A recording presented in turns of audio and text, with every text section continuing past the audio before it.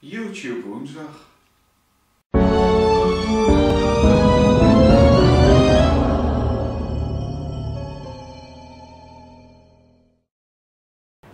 Hele goede dag gewenst. Welkom bij deze tutorial waarin we een project gaan maken die ik al heel lang wil maken.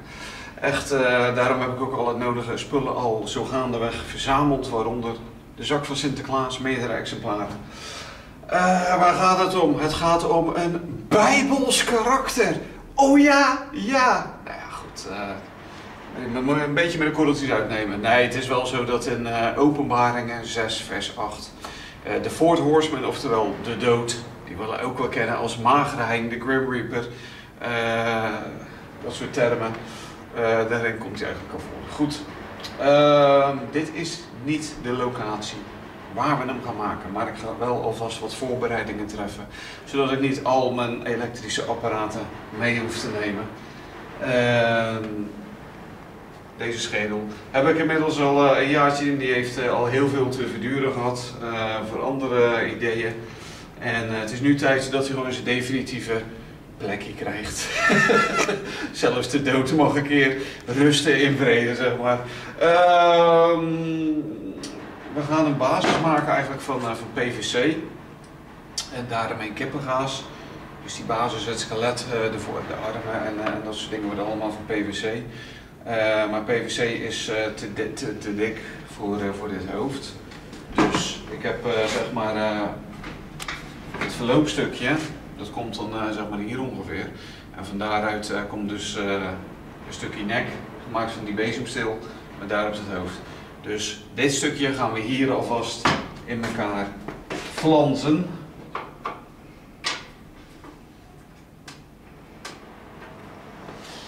Eh, we gaan als eerste, denk ik deze er maar even opzetten, door gewoon zo erop. En dan een beetje te kijken waar die aan de binnenkant die bezemcel raakt. Dus hier ongeveer. En dan ga ik hem vastzetten met de tekker.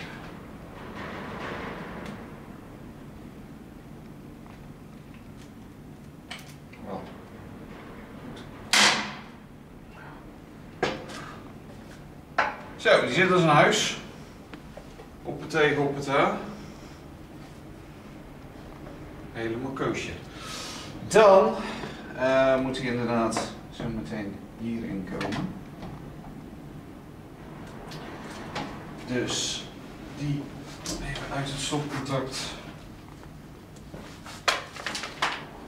Boormachine met de juiste maat speedboor heb ik al klaar liggen, maatje 20.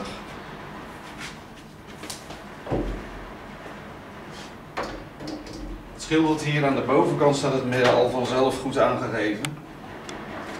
Dus daar hoef ik eh, weinig aan, eh, aan uit te meten en dat soort dingen. Zeg maar gerust helemaal niks.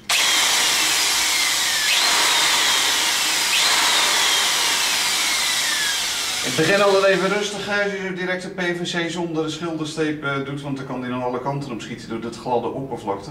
Deze paar zo.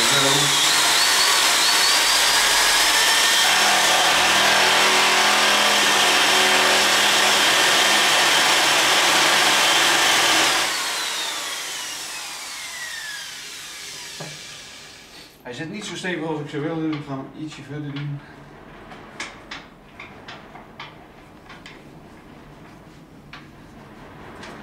Zo.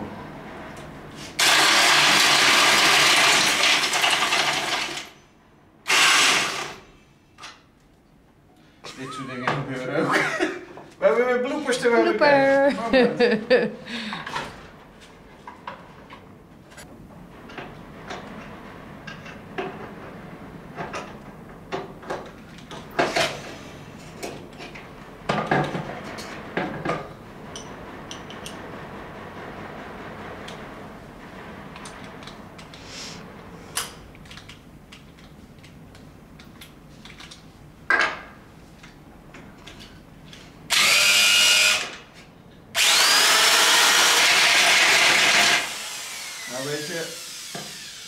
Dit eh een beetje linkersoep.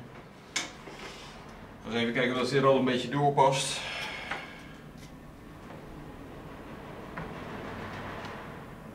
Dat is niet zo, maar ik ga gewoon even een mesje pakken, dit even eh, eh, uitsnijden op het gemakje en dan zien we zo wel weer.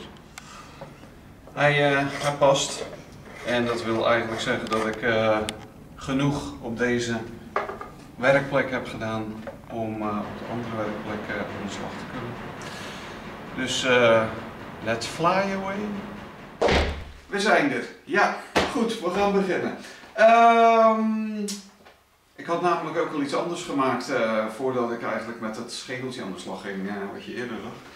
Deze hebben we alvast gemaakt. Een eh, blok waar die opkomt. Gemaakt van pallethout wat we gratis hebben kunnen krijgen van een bedrijf. En ik wilde van begin af aan dat, als je er zo op kijkt, dat er geen schroeven te zien zouden zijn. Dus hij is aan de binnenkant helemaal eh, vastgezet met schroeven. En aan de buitenkant zie je er niks van. Die wielen had ik nog over van, eh, van de Ghost Straps eh, die ik eerder had gemaakt. En het is dus eigenlijk gewoon deze kleur pallet hout. Hoe hebben wij dat deze kleur gegeven? Daarvoor neem je simpelweg, in dit geval grijze zijdeglansverf, wel zijdeglansverf pakken. Eh, flinke scheut terpentine erbij zodat het goed dun wordt.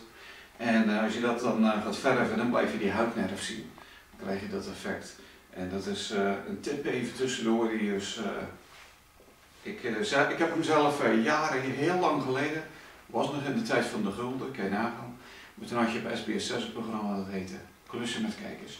En in de tijd dat eh Fokke van Alphen daar nog bij betrokken was, eh, zo ontzettend veel tips, tricks en eh, dat soort dingen gezien, geleerd en ook onthouden.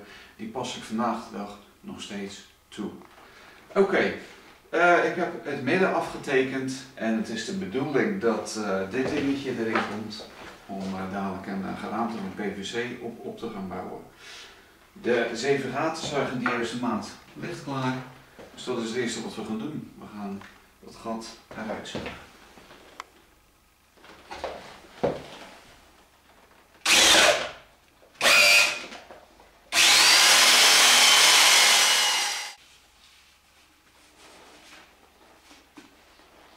Die zit. Gat geboord en deze erin gelijmd met zowel het lijmpistool als eh siliconenkit. Lijmpistool om hem eh, voor nu gelijk op zijn plek goed te houden.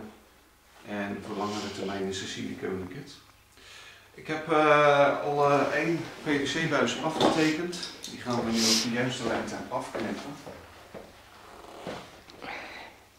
Ik heb eh, uitgemeten tot, tot de nek ongeveer bij mezelf en die lengte hou ik gewoon aan.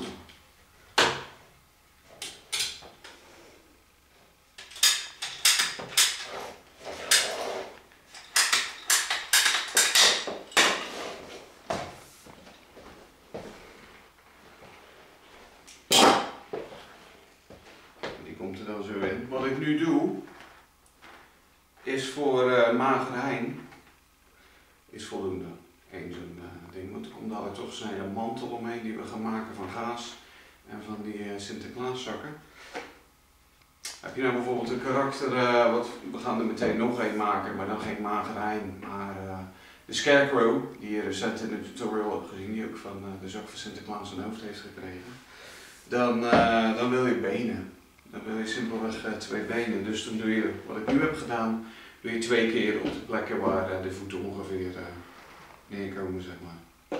Oké. Die hebben we tijd om de PVC-lijn erbij te gaan pakken. En die ligt ergens anders.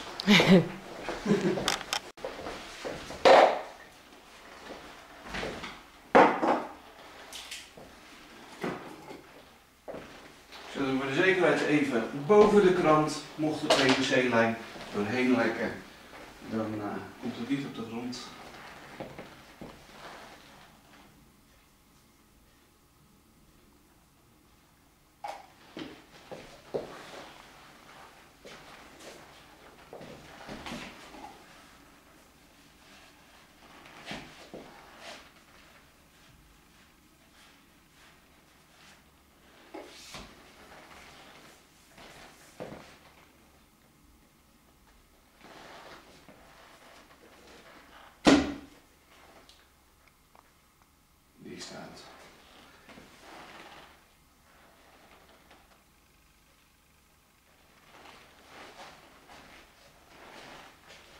Mede met herinneren dat hier de keukenrol lag, niet zo.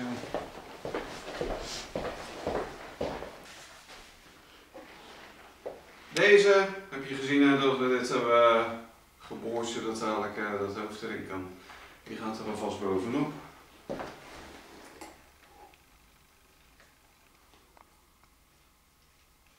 En je snapt nu wel dat het zaak is om deze meteen goed rechterop te lijmen.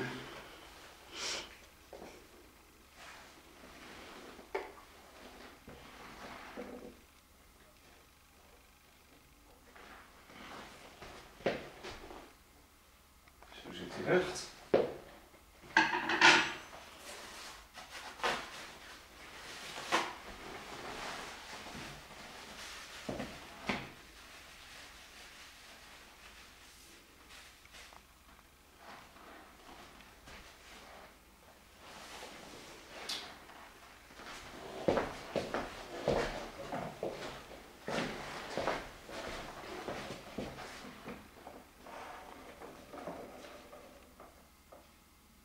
Natuurlijk eh, niet zo, ook een beetje hoger.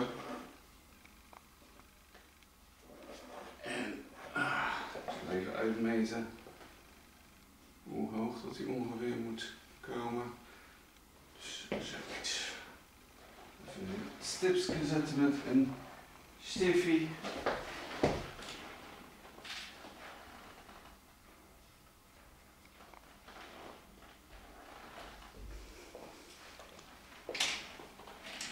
Zal wel een beetje te zien zijn niet tegen het licht. hè? Nee, is wel goed. Oké.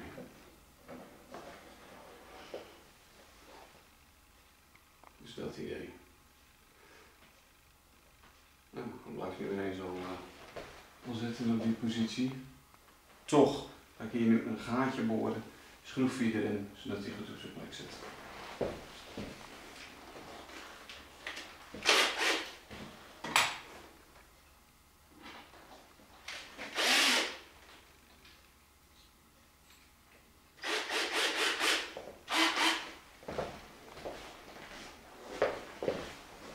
En weer wel wat haaien. Goed eruit zit.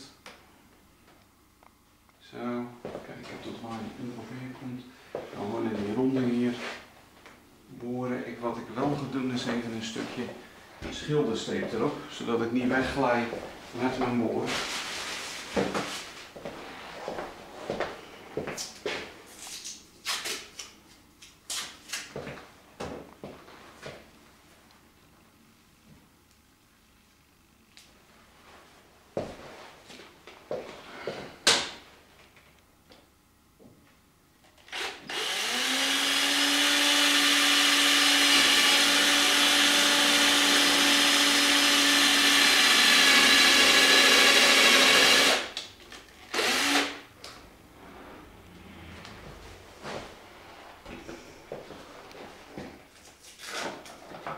Դե ժակսի այդ մայրաս խացեմ օտոց կայմատ։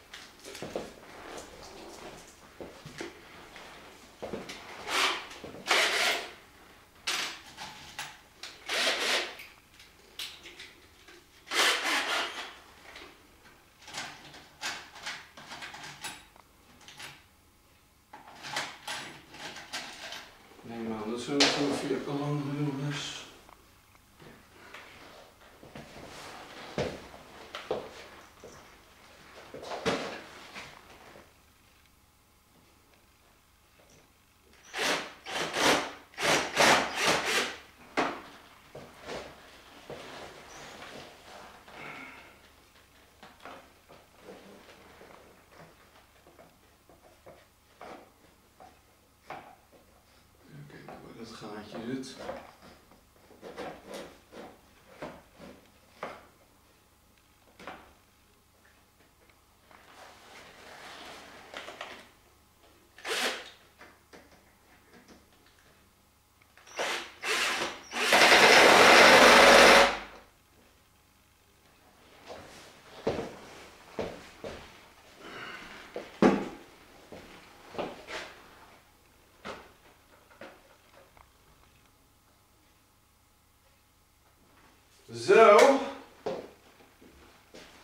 Zitbuur.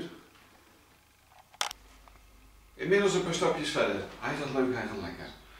Uh, dit zit dus uh, in elkaar gelijmd met de armen bezig geweest. Dit is de rechterarm, dit is de linkerarm. Dit is een beetje het idee. Hierin komen weer die creepy hands. Uh, die andere ligt daar eens. Je hebt natuurlijk al eerder de tutorial gezien hè, hoe die gemaakt worden. Ga ik je niet nog een keer uitleggen. Uh, dit zijn van die 90 graden uh, PVC-hulpstukken, deze 45 graden. Eerst uh, de boel uitgemeten, ik ben puur voor mezelf uitgegaan. Dit is, kwam bij mij tussen de 55 en 60 centimeter. Dus twee PVC-stukken van 25 centimeter per stuk genomen, omdat hier tussen zit nog een ruimte van 4 centimeter, dus het komt bij elkaar op 54. Dit erbij, dan kom je wel diezelfde breedte. Lengte van de armen, dit is 30 centimeter, deze is een 20 centimeter. En uh, dit is dus uh, de hele bedoeling.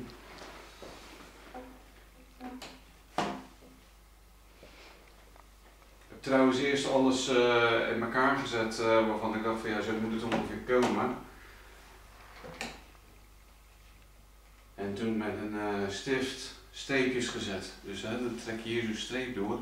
Wij zitten later uit elkaar al om met lijm te smeren. Dan zie je precies hè, dat die streepjes tegen elkaar moeten komen en zitten dus in de positie zoals je hem hebben wil. Nou, dit uh, komt er dadelijk nog op. Dan uh, komen die handen er nog in. Dit is nog een klein beetje wankel, maar er komt dadelijk uh, heel goed opgevuld kippengas, alles omheen. Dus daar maak ik me niet zo zorgen om. Verder, uh, ja wat ik zeg, komen hier dus die creepy hands in.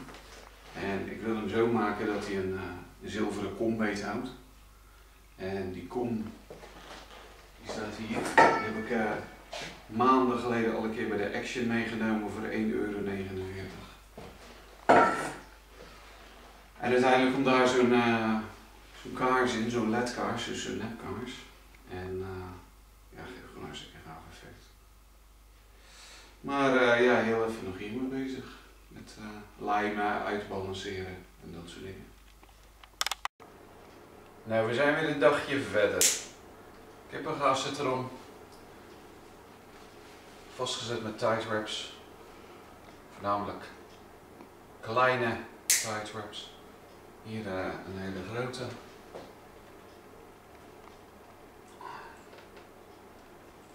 Dit is in ieder geval voor het verticale deel van het lijf.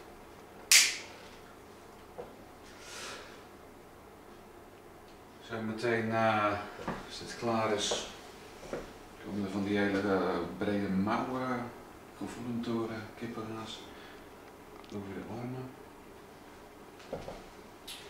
Trouwens, dat blokje waar die op staat, in de huishoudfolie gepakt. Waarom? Dadelijk uh, die jute zakken eromheen zitten. Dan moet hier geverfd worden. Voornamelijk zwart. Zo zonde zijn er daar allemaal zwarte spetters op komen en dat soort dingen. Dus zolang dat, uh, het verf en alles nog moet gebeuren, dan laten we dat ingepakt in de huishoudfolie. Als het klaar is, dan trekken we dat er allemaal af. Wat hebben we wel alvast gedaan voordat het kippengaas erop ging. Zodat echt alles goed afgedekt kon worden houten voetstuk betreft. Dus uh, onder het motto uh, zo gaat hij goed, zo gaat hij lekker. En gaat het niet zoals het moet, baal dan niet als een stekker. En als het even niet meer lukt, tel dan gewoon tot drie en zeg nobody is perfect. But me. En we zijn inmiddels een maand uh, aankleden, zeg maar, met kippengaas en uh, jutezakken. Ik heb iets van zes van die uh, jutezakken totaal. En wat betreft het werken met jute en kippengaas is perfect. Als je werkt met tight wraps, die gaten, je steekt die tight wraps er doorheen. Hetzelfde geldt voor het kippengaas. Subliem. Uiteindelijk uh, komt er ook nog wel uh, her en der uh, een flinke dosis van die bruine acrylaatkit om alle delen aan elkaar vast te zetten. Uh, ik heb natuurlijk nog zijn hele tube over van, uh, van de Scarecrow. Dus uh, het is nu zaak dat hier links een soort mouw nog gevormd wordt zoals hier, van kippengaas. Uh, jutezak ermee. Dan komt er hier een jutezak omheen. Dan maken we nog van kippengaas de basis voor de kap. En uh, om het kippengaas weg te werken wordt er dadelijk aan de binnenkant zeg maar ook nog uh, jute geplakt. Gewoon een klein stukje dat het kippengaas gewoon niet meer te zien is. En uh, ja goed, als dat in elkaar zit dan uh, gaat die schedel die gaat in, de, in de primer. Dat doen we met de spuitbus, dus dat doen we buiten. En als dat is gedroogd dan kan die in zijn geheel kan die, geverfd gaan worden. En dat is ook nog wel een een klus die ik zeker ga uitleggen, want er zijn bepaalde dingen waar je dan rekening mee moet houden voor bepaalde effecten. maar dat, eh, dat zie je nog wel. Blijf kijken. Oké, de kop staat in de primer, staat even te drogen. En uh, wat ik nog wel even wil vertellen wat betreft die, uh, die zakken. We hebben natuurlijk een allerlei vormen geknipt, maar van de meeste zakken hebben we die, die brede rand afgeknipt. Ik dacht dat er hier ook nog een aan zat, maar dat is niet zo, ook wel aan dit stukje. Die, die gestikte rand zeg maar. En uh, die moet je niet weggooien. Want uh, als je die bewaart, dan kan je dus prima nog zo'n ceintuur maken. Dus uh, het is een kwestie van deze aan elkaar knopen. Eén is net te kort, dus vandaar dat ik er twee neem. En uh, middel opzoeken.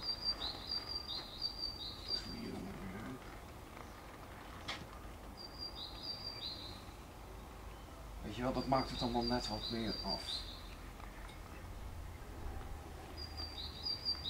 Dat dus. En voilà. Helemaal goed. Um, even wachten tot dit uh, klaar is. Dan gaat hij weer naar binnen. En dan ga ik uh, met die uh, acrylaatkit aan de slag om alles aan elkaar te plakken. Er komen hier nog wat schouderpartijen van Jute. waardoor wat meer lagen nog ertussen komen. En je ziet het allemaal wel. Oké, hij is uh, zwart. Uh, zo willen we hem niet alleen hebben. We willen ook nog uh, subtiele effecten aanbrengen. Dat het meer een verweerd standbeeld lijkt. En om dat te realiseren gaan we gebruik maken van deze kleur, grijs. Goed opletten, want er zijn dus dingen waar je rekening mee moet houden. Je moet nu vooral boven spuiten boven de gedeeltes die grijs moeten worden.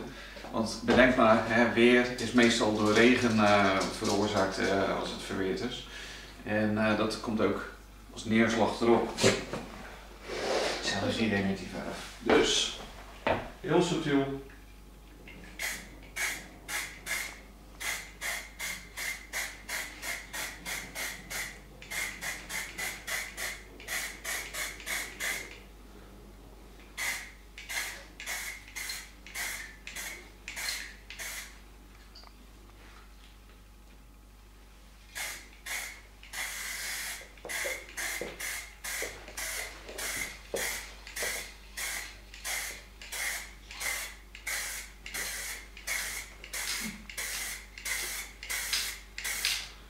Niet er tegenaan spuiten, hooguit, heel even.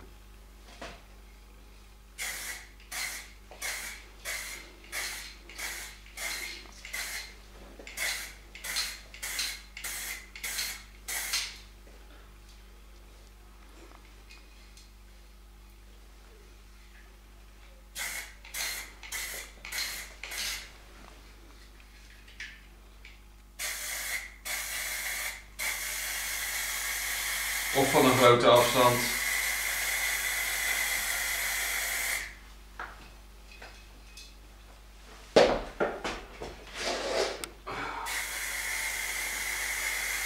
Vanwege de wind buiten zijn we genoodzaakt om het binnen te doen. Maar we hebben kaars aan, vandaar dat goed luchten.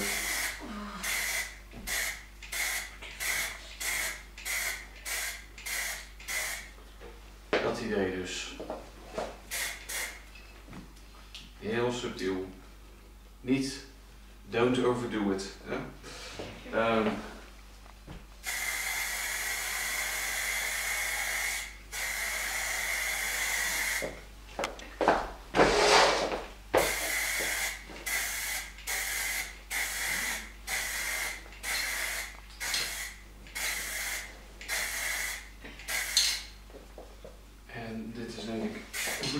wel bijna voldoende. En dus die handen die wil ik iets lichter hebben, zodat hij dadelijk echt wel uh, uitknallen. Het gezicht is ook iets lichter dan de rest. Aangezicht van die schedel, En uh, een beetje op de schouders.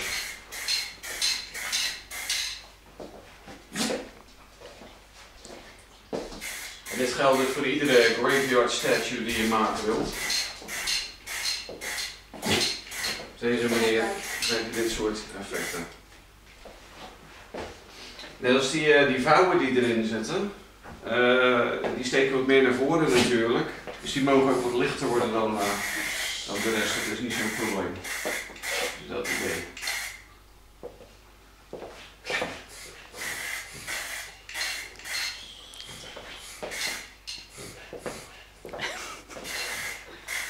Het is eigenlijk uh, hoe meer naar boven, hoe lichter dat het mag zijn.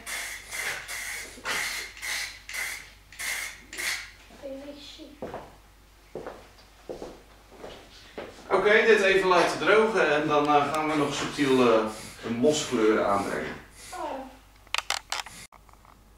Oké, okay. het grijze effect is gedroogd. We hebben die roestvrij stalen kom in zijn handen gelijmd met uh, siliconenkit. En als laatste effect, ik wil een beetje het idee geven dat het echt zo'n begraafplaatsbeeld is, een graveyard statue. En uh, dat het dus een verweerd effect, een mos effect, dat er wat moskleur op zit. We hebben deze kleur groen voor gekocht. En dat gaan we eigenlijk hetzelfde doen als, als het grijs net. Alleen dit wat mag, mag wat explicieter erop komen, zeg maar. Dus.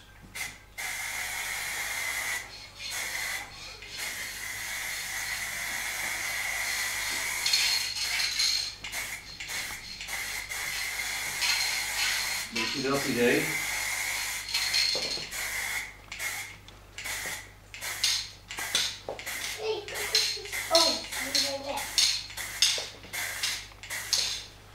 Zo. En uh, ja, hier misschien ook nog een beetje, weet je wel. Uh, doe wat je zelf leuk vindt. Als je dit gaat doen. Dikke zijn altijd heel lang.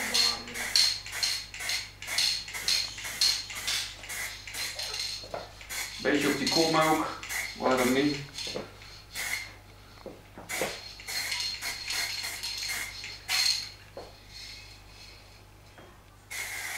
Ik wil het niet in de, in de schedel zelf hebben. Uh, voor het effect vind ik dat niet leuk.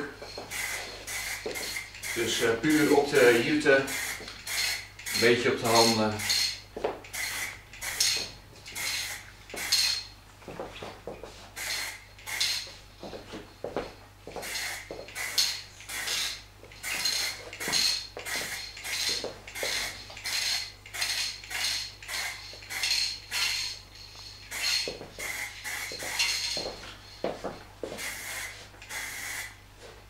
Dat. Meer dan dit niet doen.